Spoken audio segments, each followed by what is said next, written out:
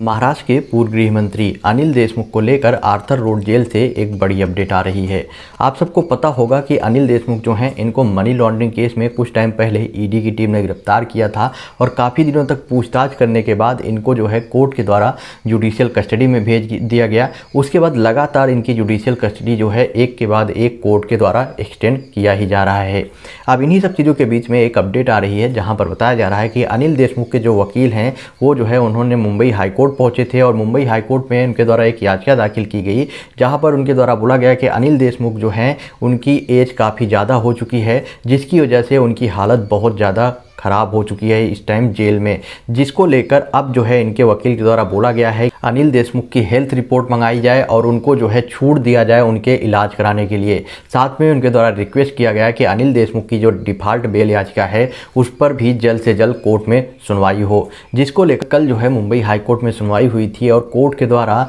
जो Arthur road jail है, उसके अधिकारियों को बोला गया है कि जल्द से जल्द अनिल देशमुख की जो हेल्थ रिपोर्ट है, उसको कोर्ट में पेश किया जाए। मतलब कि अनिल देशमुख की पूरी तरह से जाँच कराई जाए और पता लगाने की कोशिश किया जाए कि आखिरकार अनिल देशमुख क्या सच में बीमार हैं, क्या उनकी हालत सच में काफ़ी ज़्यादा ख़राब है आर्थर रोड में। और अगर ऐसा सचमुच है तो उनके ऊपर जो है कोर्ट की तरफ़ से, अपनी तरफ़ से विचार किया जाएगा और आगे की जो है कार्रवाई की जाएगी। और रही बात उनके डिफ़ॉल्ट बेल याचिका पर तो उस पर भी जल्द ही सुनवाई की जाएगी, ऐसा जो है कोर्ट के द्वारा बोला गया है। तो कहीं ना कहीं से ये कन्फर्म कर दिया गया है कि अनिल देशमुख की जो हालत है, वो जेल में काफ़ी ज़्यादा ख़राब है और इसके पीछे का एक बहुत बड़ा रीज़न बताया गया है कि उनकी जो है एज काफ़ी ज़्यादा हो चुकी है। वहीं काफ़ी लोगों के द्वारा ये भी दावा किया जा रहा है कि अनिल देशमुख चाहते हैं कि उनको जो है किसी भी हालत में उन्होंने जो बेल याचिका दाखिल की है, डिफ़ॉल्ट बेल याचिका, उसमें उनको जो है जमानत दे दिया जाए। इसीलिए जो है उनके वकील के द्वारा इस तरह की बात कही गई है कि उनकी जो है हालत ख़राब है, इसी जिससे कि कोर्ट जो है उनको जो है